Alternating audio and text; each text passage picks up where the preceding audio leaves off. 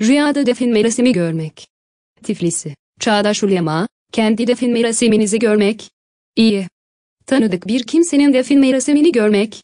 Miras alacağınıza, önemli bir şahsiyetin defin merasimini görmek. Toplumsal değişikliğe.